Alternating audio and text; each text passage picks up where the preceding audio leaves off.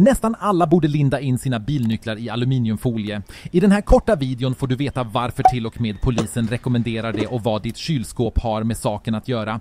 Det är ett riktigt viktigt trick som jag ska förklara för dig mer i detalj här. Du ska ta din bilnyckel och linda in den i aluminiumfolie. Sen kan du lägga tillbaka den på nyckelstället eller någon annanstans i hemmet. Alternativt kan du helt enkelt förvara den i ditt kylskåp, men jag ska visa dig varför det kanske inte är en så bra idé om ett ögonblick.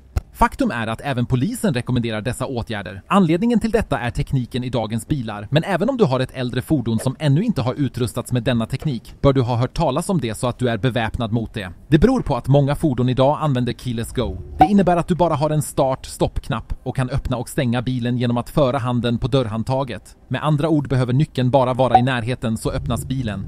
Men det som låter som mycket bekvämlighet är högst tveksamt ur säkerhetssynpunkt och det blir allt tydligare nu för tiden.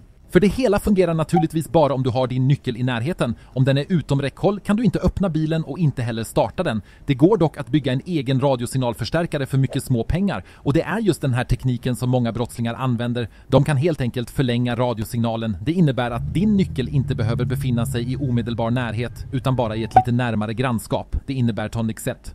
Att om din nyckel sitter i nyckelknippan är det möjligt att ditt fordon enkelt kan öppnas utomhus med en sådan radiosignalförstärkare och även kan startas. I det här fallet utlöses naturligtvis inget larmsystem eftersom fordonet öppnas och startas på normalt sätt. Det finns inte heller något behov av att skada fordonet, vilket gör det till ett något mer komplicerat fall när det gäller försäkring. Men det kan faktiskt hjälpa att helt enkelt linda in nyckeln i aluminiumfolie. Då störs radiosignalen och den kan inte förlängas. På så sätt kan du skydda din bil från stöld. Och även om bilar naturligtvis redan är mycket väl säkrade nu för tiden är de fortfarande inte säkra. Därför blir den här typen av stölder allt vanligare.